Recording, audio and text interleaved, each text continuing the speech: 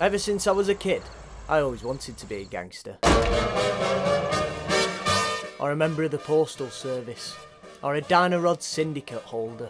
Or one of those blokes that tags birds in the Arctic with the plastic rings of the machine that tells you where they are at all times, even if they're at dinner or underwater or cleaning the feathers.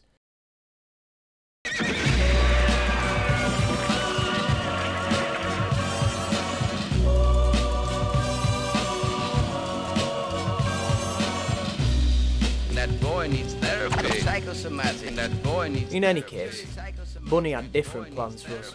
Not gangsters then as it turns out, but logistics professionals. Yes, we work with some unsavoury types. But Bunny's trained me up right nice. As mums go, she's up there with the best of them. The cat's pyjamas, you might say.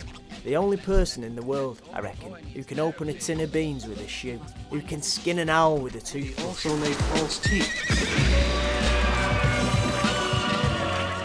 Been my rock and my anchor, my cream cheese and my chives, my Oldham and my athletic. Always will be.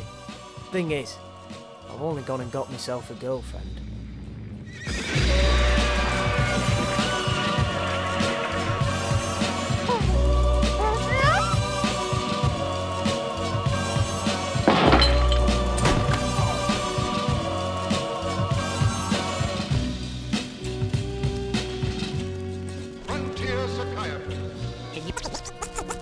Think of anything that talks other than a person?